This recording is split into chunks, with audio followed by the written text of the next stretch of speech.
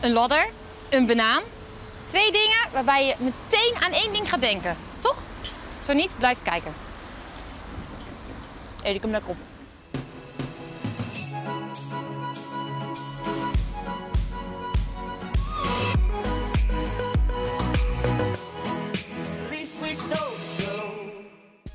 Wie kent ze niet? Charlie Chaplin, de dikke en de dunne. Grote helden van vroeger. Ze waren voor veel mensen een inspiratiebron. Maar eigenlijk zijn ze dat nog steeds. Zo ook voor de mannen van de Wereldband. Met hun show Slapstick brengen ze een ode aan deze muzikale komieken. En Pieter die neemt ons vandaag mee naar het provinciehuis in Arnhem. En verder vertelt cellist Jeroen den Hedder ons alles over zijn cello... die gemaakt is van een boom uit zijn stad. Nu eerst terug de tijd in met de mannen van de Wereldband.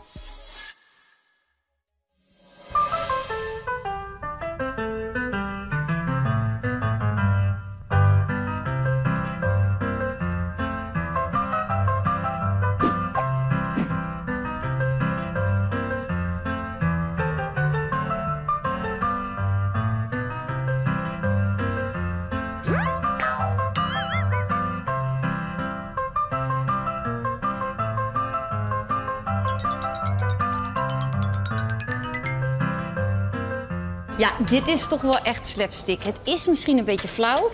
Maar ja, sterren als Charlie Chaplin, de dikke en de dunne, die zijn er toch wel heel groot mee geworden. Dankjewel voor het lenen, hè. Maar eigenlijk is het gewoon van alle tijden. Want André van Duin deed het, Peppi en Kokkie, zelfs Bassie en Adriaan. Maar als je nu naar nu kijkt, ja, dan moet je bij de mannen van de Wereldband zijn. Ze treden vandaag hier in Ede op. En ik mag een kijkje achter het scherm nemen. Dus ik denk dat ik alles leer over slapstick in deze tijd.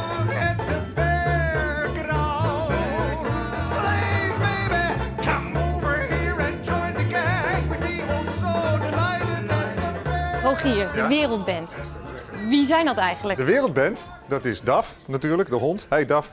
En dat is John. Dat is Willem. Sanne, Ro en ik. En je hebt altijd een kussen bij je. Ik heb altijd een kussen bij me, Esther. Ja? Moet ik bang zijn? heel goed. Ik ben eigenlijk heel erg benieuwd wat slapstick eigenlijk is. Want Ik dat ook. is jullie voorstelling. Daar gaat het om. Eh, jeetje, wat slapstick is. Ja, slapstick zijn eigenlijk een soort van rare... Dit soort dingen. Van die rare, onverwachte, maar soms ook alle dagelijkse dingen die je tegenkomt en die je dan een beetje uitvergroot. En dan blijkt het ineens heel grappig te zijn. Zoals een, eh, een eh, kussen in je gezicht of iemand die een wind laat. Of een... pet tegen je aangooien. Dus jullie kunnen je helemaal laten gaan. Ja, sorry. Ja, ja, ja, in de show wel. Mag dat nu ook? Moet niet? Ja? Tuurlijk, Oké, vooral ja, doen. Maar dan ben ik wel benieuwd waarom jullie voor slapstick kiezen. Want is dat Nou, inderdaad omdat je lekker dit mag Precies, doen? ja, dat gaat hier om. Nee, eh, ik wist dat het misging. Het loopt Eh, uit de hand, hè? Het loopt uit de hand, dit. Jongens, Ga ik dit overleven vandaag? ehm, nou, eigenlijk is het zo dat we altijd wel al met slapstick dingen bezig waren natuurlijk. Het is zo dat bij ons bij de show er altijd grappen gemaakt werden met instrumenten en met spullen en met elkaar en weet ik het. Maar het is natuurlijk ook zo dat slapstick zo langzamerhand een beetje een stijl is. Iedereen kent het een beetje uit die dikke en de dunne en, en Charlie Chaplin stijl en dat soort dingen. En toen dachten we, we gaan een show maken in die stijl. En toen bleek ineens dat alles perfect uitkwam.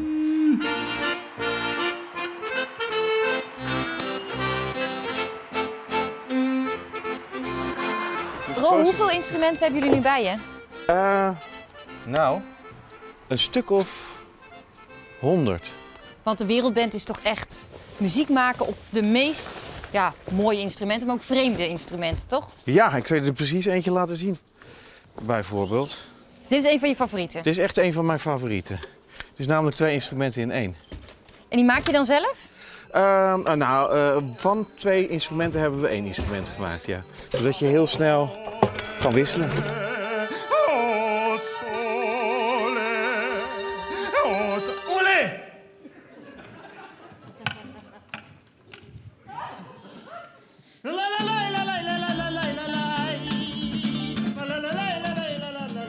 Is de Wereldband nou eigenlijk? Een vriendengroep of gewoon een paar muzikanten bij elkaar? Sowieso geen vriendengroep. Nou, dat lang niet.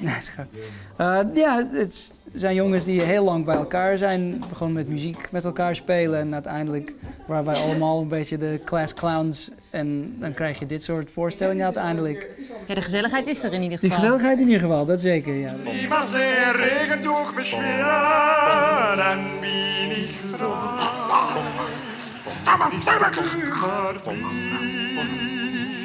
niets bekümmert Volgende week is het zover. Dan wordt het nieuwe Gelderse provinciehuis geopend door niemand minder dan koning Willem-Alexander. Er is een nieuw gedeelte bijgebouwd, maar ook is een gedeelte van het oude pand van architect Vechter verbouwd. En over dat oude gedeelte kan Pieter ons alles vertellen.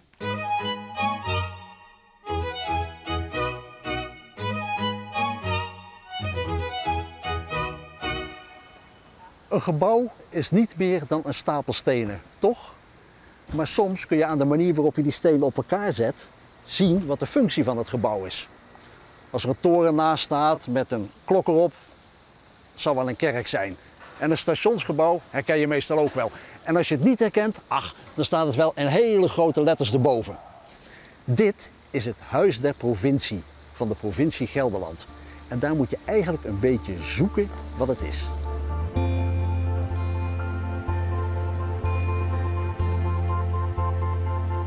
Het is de zetel van de macht, zo'n provinciehuis. En dan verwacht je dat terug te zien in het gebouw. Dan verwacht je misschien een immens grote trappartij.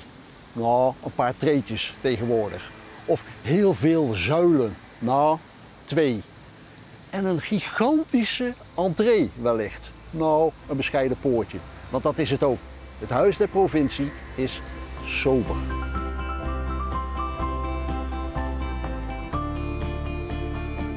Gelijk behandeld.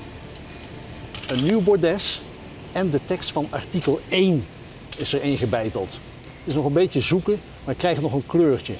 Om maar aan te geven dat het om democratie gaat, ook in dit gebouw.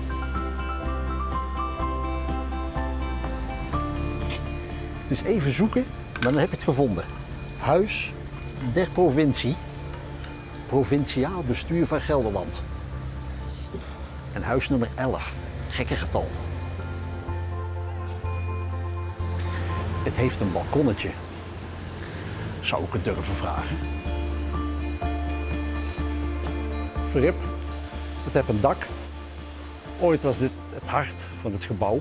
Was het buiten een beetje tochtgat. Nu heeft het een dak gekregen en is buiten, vier buitenmuren, zijn binnen geworden. Ook duurzaam, denk ik dan. Wel benieuwd wat de regen doet op dat eh, plastic dak.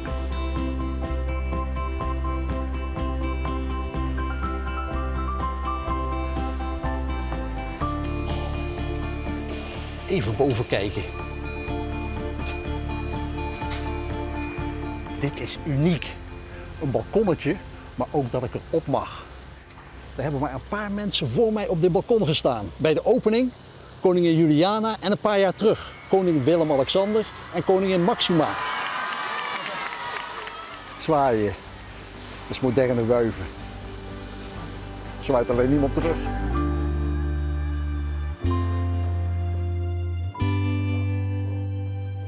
Hier ga je naar het nieuwe deel. Daar mogen we nog niet komen. Dat mogen we volgende week pas zien. Ga toch stiekem kijken.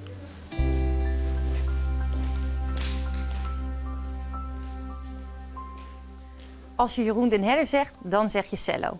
In het leven van de cellist uit Zutphen draait alles om zijn instrument. Hij heeft een eigen kwartet waar hij af en toe mee optreedt, maar ook organiseert hij elke twee jaar een groot cellofestival in de stad.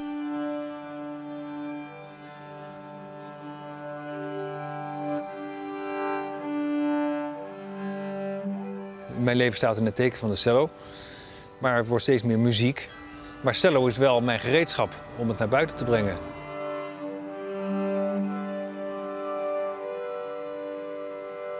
Ik heb soms wel eens mijn eh, cello uitgeleend, maar dat voelt altijd een beetje, een beetje gek. Ja, niet, niet heel fijn of zo. Dus ik. eh, eh, je mag er wel even op spelen, ja, dat mag wel.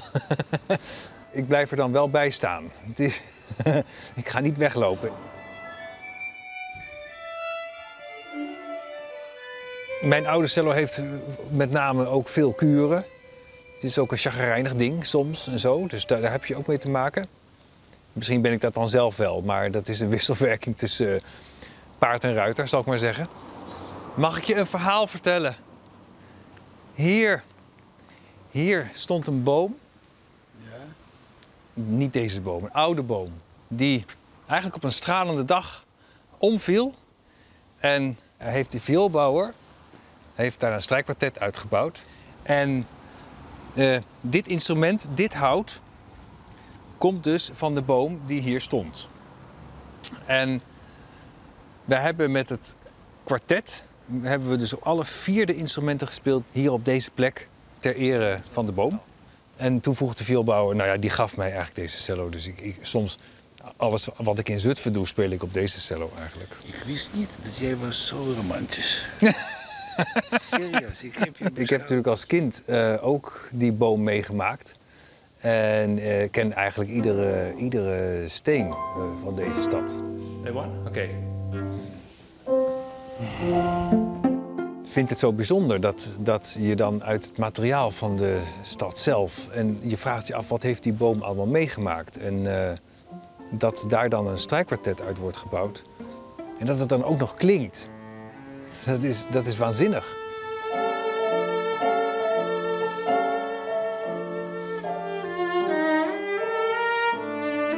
Ja, ik raak de verbinding kwijt als ik niet speel. Op den duur. Dat is, eh, dat is, voor mij is dat ook een soort van verslaving misschien. Ik heb het nodig, fysiek ook, om te spelen. Soms ook niet natuurlijk, maar dat gevecht, eh, daar houd ik van. Leven met muziek heeft ook gewoon zijn prijs. Je gaat, je gaat weg steeds. Je bent steeds op pad. Ehm, soms is dat heel leuk, soms, soms ben je gewoon verschrikkelijk moe. En soms moet je op je toppen spelen terwijl je denkt, ik kan het niet. Ja, dan eh, op een of andere manier ben je dus steeds wel bezig om je eigen grens te verleggen. Iedere keer weer. En eh, voor mij maakt dat het de moeite waard.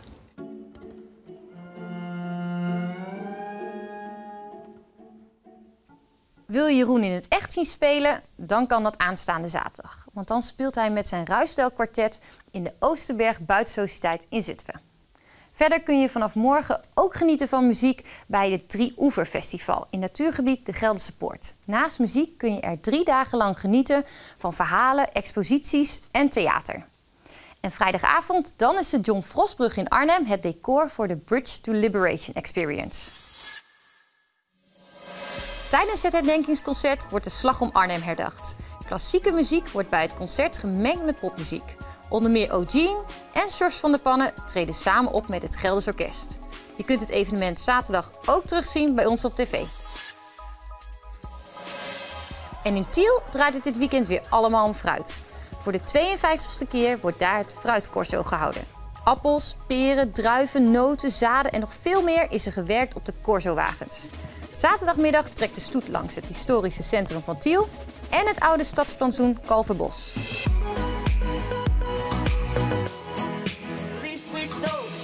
Kijk voor nog meer tips zoals de herfstfair in Vaassen of de vestingwandeling in Doesburg op onze website of Facebookpagina.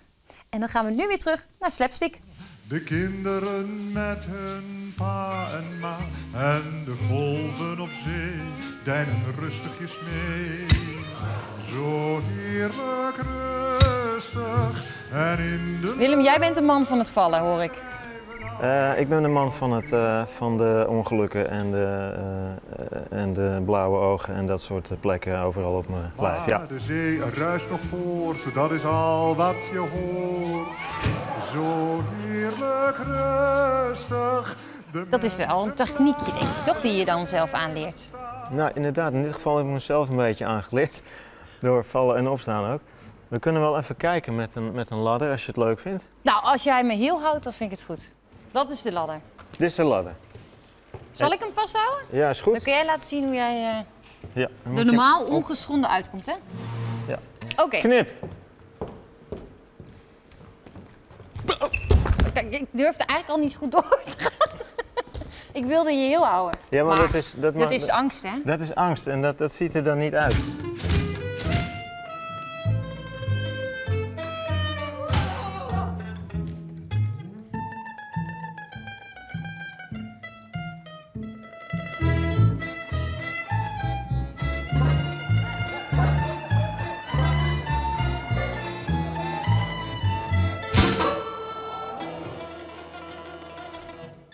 Jullie winnen een prijs bij het grootste theaterfestival ter wereld in Edinburgh. Ja. Hoe was dat? Die, die prijs is heel, heel bijzonder zeker, maar dat, dat is zeker niet wat, lang niet wat het speciaal maakt. Het is wel een gekke festival met 5000 acts en je ontmoet te gekke artiesten elke dag. En je ziet onwaarschijnlijk veel andere voorstellingen en je krijgt zoveel verschillende reacties, want het is een ander land en mensen reageren. Er zijn mensen van over de hele wereld, van Azië en van Zuid-Amerika zijn allemaal gekomen. En, En dan win je een prijs. en dan win je ook nog een prijs. Is dat de ultieme droom voor jullie? Als vijf mannen de wereld over reizen Nou, met jullie eigen show? Dat is, dat is er zeker deel van, maar de, de droom is gewoon dat we met z'n vijven ons, ons ding blijven doen. En dat we daar van een leven van kunnen maken. En dat dit echt van, van ons is en dat die mensen daarvan gewoon over de hele wereld een leuke avond van kunnen hebben.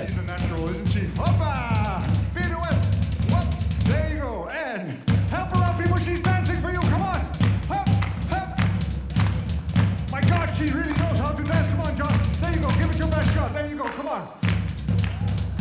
Oh. Oh. Ja, ongelooflijk. Fantastisch. Wat knap ook. Echte slapstick. Ja, daar moest ik ook nog aan geloven door het podium te gaan. Maar ja, nee, fantastisch. Meer heb ik gewoon niet te zeggen.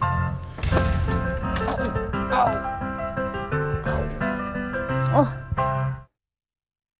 Ja, best lastig hoor, dat slapstick. Maar gelukkig doen die mannen dat veel beter. En wil je ze nou in het echt zien, dan kan dat vanaf januari, want dan toeren ze weer door het land. In Gelderland komen ze onder meer naar Putten en Barneveld. Kijk op onze website voor alle data. Wil je nou in de tussentijd ook op de hoogte blijven van alle uittips en uitgaansnieuws? Volg ons dan op onze Facebookpagina. Ga lekker op uit en een fijn weekend.